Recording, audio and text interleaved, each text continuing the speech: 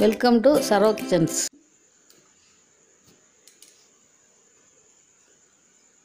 எல்லாருக்கும் வணக்கம். இப்போ பொட்டுக்கலை உருண்டை எப்படி செய்கிறதுன்னு பார்ப்போம். இது வந்து ரொம்ப சத்தானது. எப்போவுமே வீட்டில் நம்மளுக்கு பொட்டுக்கலை இருக்கும் வீட்டில் நீங்கள் வந்து உடனே அதை வந்து செஞ்சிடலாம்.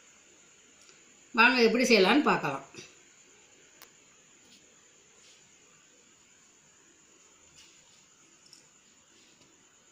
இந்த மாதிரி கப்பில் ரெண்டு கப்பு பொட்டுக்கலை எடுத்துக்கலாம். இப்போ இது வந்து ஏற்கனவே வறுத்து தான் இருக்குது இருந்தாலும் நம்ம கொஞ்சோண்டு வறுத்துக்கணும். இப்போ இதில் எதுவும் இருக்கான்னு பார்த்துக்குங்க. இந்த மாதிரி கருப்பாக எதுவும் தோலெல்லாம் இருக்கும். அதெல்லாம் சுத்தம் பண்ணிவிட்டு வறுத்து எடுத்துக்கோங்க. இந்த பாருங்க இது மாதிரி இருக்கும். அதெல்லாம் எடுத்துருங்க. எடுத்துட்டு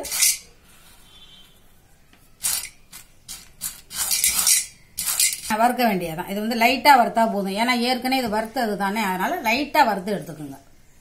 போட்டு கொஞ்ச நேரம் வறுத்தா போதும். ரொம்ப வறுக்க வேணாம். லைட்டாக வறுத்தா போதும்.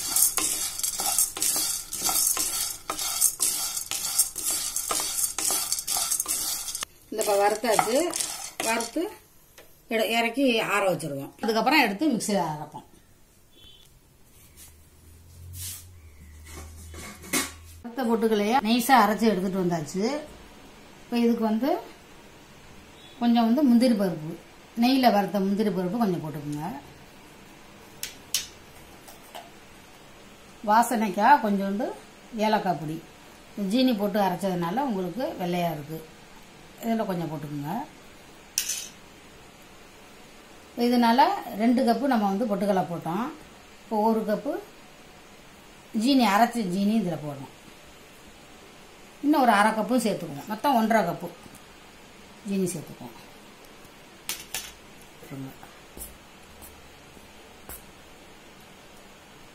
நல்லா கையாலே கிண்டுங்க. கிண்டுனா தான் எல்லாம் ஒன்று சேரும். சூடான நெய்யாக கொஞ்சம் ஊற்றிக்குங்க ஊற்றி நல்லா கிண்டி விட்டுருங்க மாவில் ஊற்றினோன்னா அந்த சூடு கொஞ்சம் ஆறிடும் அதுக்கப்புறம் நான் கையால் இது கிண்டிக்கலாம்.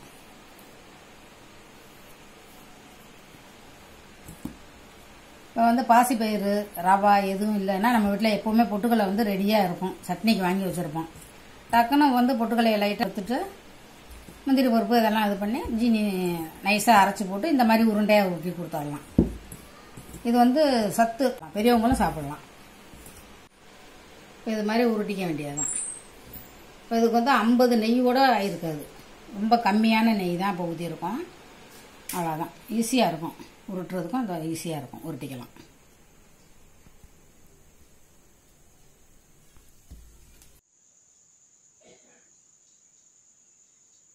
இப்போ நான் இரநூறு கிராம் பொட்டுக்கடலை எடுத்துக்கிட்டேன். எடுத்ததுக்கு வந்து பன்னெண்டு உருண்டை வந்திருக்கு.